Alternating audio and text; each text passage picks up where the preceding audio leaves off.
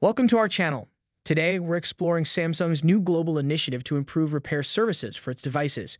Whether you're a tech enthusiast or just a Samsung fan, this video will give you the inside scoop on how Samsung is revolutionizing customer support worldwide. Let's dive in. Samsung has launched an exciting new program called the Domestic Service Experts Overseas Dispatch. This program sends skilled Samsung instructors to different countries to help improve local repair services.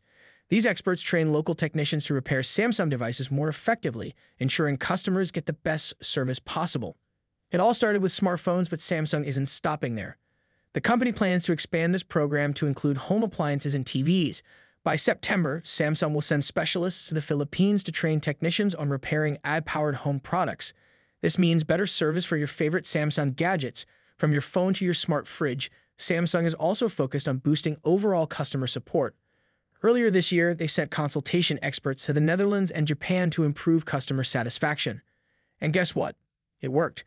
Customers in these countries are now happier with Samsung's service than ever before. So, what does all this mean for you? If you own a Samsung device, you can expect even better support no matter where you are in the world. Samsung is committed to making sure that its customers have access to top quality service, whether it's fixing a smartphone or maintaining an AI powered home appliance. Thanks for watching.